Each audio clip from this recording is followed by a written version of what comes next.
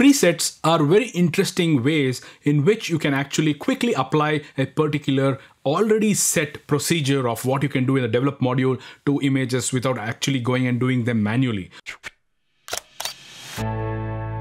By the way, can I please request you to subscribe to this channel so that you get all the updates that we send? Uh, also, it's a good idea to hit the bell icon so that you get instant notifications when we have new content.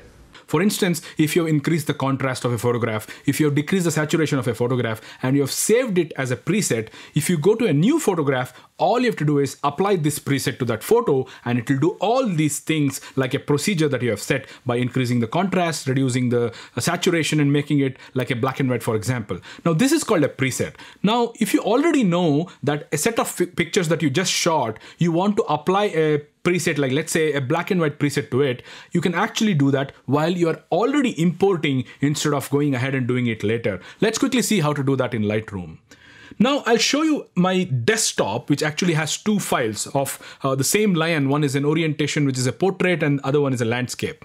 Now I'm going to go ahead and import the picture, which is actually having um, the the horizontal orientation, that is the landscape orientation. I'm going to deselect all files from here and I'm only going to select the lion which is the landscape orientation and I'm going to go ahead and uh, create a minimal preview and I'm going to actually be importing it by doing this.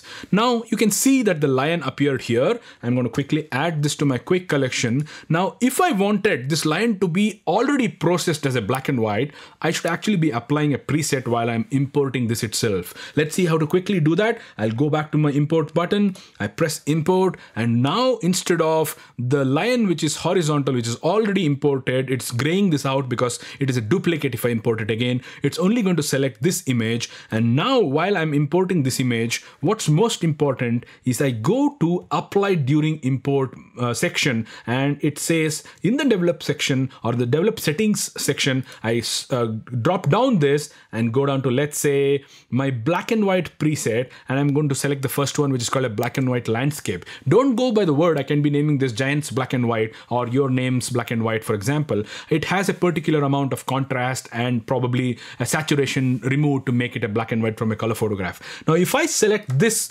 preset called as a black and white landscape preset. And while applying I apply this develop setting and I import this image within a second of it being imported and downloaded it's going to apply that preset to it and show you how it can appear if you converted that into a black and white. I'm going to rotate this quickly to show you how this lion looks like. It's actually an image where I don't need to do anything, but I just simply need to convert this into a JPEG and upload this onto my Instagram. This is the way you can actually apply presets while importing your images.